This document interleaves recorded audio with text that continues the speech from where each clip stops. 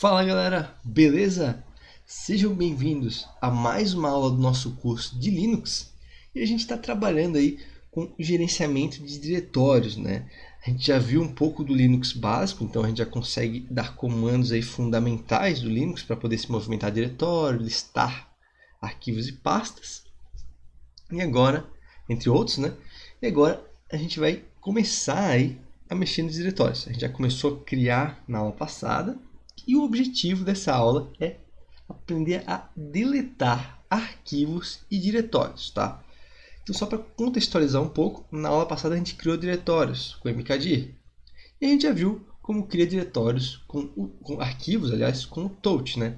Então, basicamente, a gente sabe como cria arquivos, né? E sabe como cria diretórios. Agora a gente vai aprender como a gente remove arquivos e também diretórios, né? Para a gente ficar aí alinhado com o que a gente já sabe criar certo? Então, o comando para remover é o rm, bem simples assim, tá? Então, se eu der um rm arquivo txt2, ele vai remover, tá? Esse arquivo 2 aí na minha pasta home do usuário. Entenderam? Então, não tem muita explicação. Ele simplesmente remove o que a gente precisa remover, certo? Aí, é, no mesmo esquema do mkdir, a gente consegue remover várias coisas ao mesmo tempo. Então, aqui eu estou removendo o arquivo 3 e o arquivo 4. Percebam aí que os arquivos realmente sumiram aqui da pasta do meu usuário. E também percebam né, que é um comando destrutivo, né? a gente está perdendo alguma coisa quando a gente executa esse comando. Então, a gente tem uma opção chamada "-i", que ela consegue aí tá é, confirmando a nossa ação. Então a gente pode aí ter uma trava de segurança, digamos assim, para gente, a gente quer deletar o arquivo ou não, né? Percebam aqui que pode ser muito automático isso, mas a gente pode fazer desse jeito e ter uma segunda opção, digamos assim, né? E se a gente ver, porra, não era esse arquivo.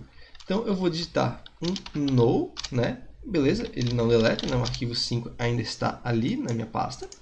Mas se eu for lá e dou um yes, ele vai remover o arquivo 5 da minha pasta, certo? Então, yes a gente remove e no a gente deixa o arquivo ali existindo, ok? Então, muito importante né, essa opção para poder a gente conseguir ter uma segunda decisão e não fazer besteira, certo? E agora, por exemplo, é, a gente está com esse dir 3 aqui, ó, e ele tem um diretório dentro, beleza? Se eu dou um rm dir 3, ele não deixa eu remover o diretório, tá? E por algumas coisas, né? A primeira é que o comando de remoção ele não funciona assim para diretório, certo? Eu, para remover um diretório que tem qualquer coisa dentro, seja arquivo ou diretório, eu preciso usar os parâmetros rf, tá? rm-rf. Aí eu estou é, removendo recursivo e forçando a remoção, certo? O F é de force e o R é de recursivo, para remover tudo que tem dentro, inclusive o próprio diretório. Então, fazendo assim com rm-rf, o diretório some, certo? Então, é, um adendo aí para esse comando é que Pensem muito bem antes de utilizar, porque ele, como tem o force, ele vai remover tudo mesmo. Então, tem até um meme na internet que é um rm-rf barra, certo? E isso faria com que a gente removesse todos os arquivos do sistema e essa máquina parasse de funcionar. Então, esse comando vocês nunca deverão executar, rm-rf barra. Até tem alguns fóruns assim que as pessoas perguntam um problema, talvez às vezes básico, e a galera responde com esse comando que pode ser muito prejudicial para o nosso sistema. Né?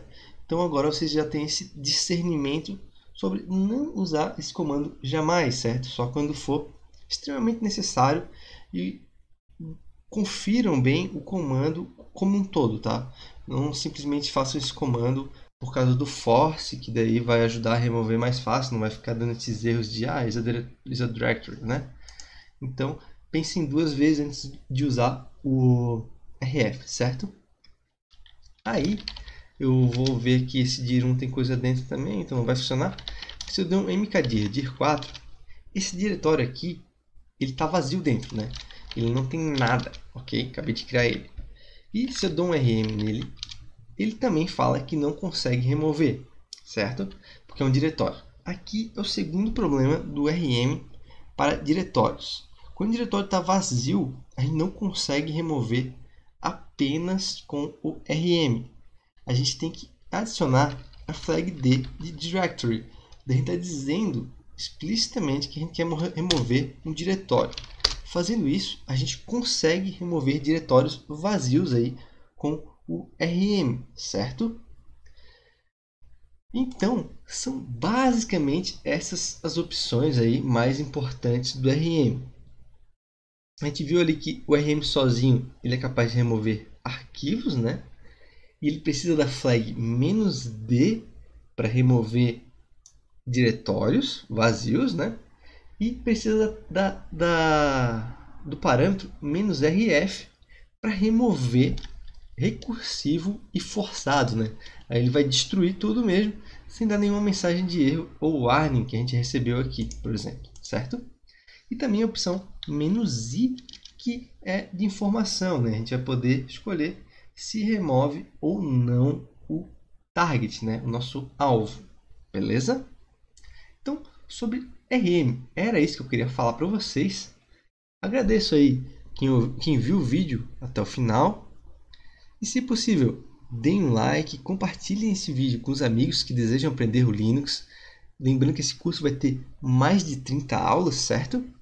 E também se inscrevam no canal e ativem o sininho para receber aí as notificações dos vídeos futuros. Que semana que vem tem mais. E na descrição desse vídeo temos alguns links importantes, como os nossos cursos do Hora de Codar, na Udemy, com um preço bacana. Inclusive tem um curso aí de Linux bem denso, com mais de 100 aulas. Aconselho a vocês todos que querem especializar no Linux. E também temos o blog, que é um local que eu posto artigos semanalmente, conteúdo gratuito e de qualidade. Beleza? Então aguardo vocês na próxima aula. Valeu!